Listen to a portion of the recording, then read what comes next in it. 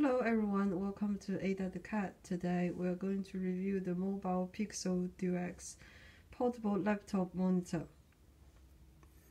So I bought this on Indiegogo for about $260. Um, guess the project started as a Kickstarter thing and uh, eventually graduated to Indiegogo.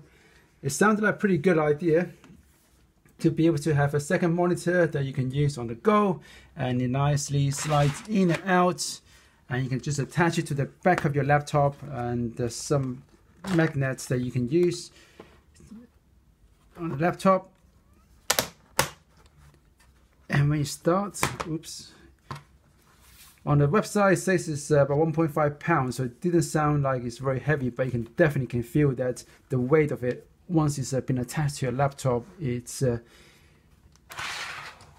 you can de definitely feel it. Another thing, as you can probably saw, you can you probably saw already, that the monitor just keeps disconnected on its own. I don't know if it's a problem with the connector or it's a problem with the, the monitor itself or the device driver I'm using. Yeah, so it seems like it's not a recommended product. So yeah, that's pretty much for today. Thanks for watching. If you would like to subscribe, please click the button at the bottom of the video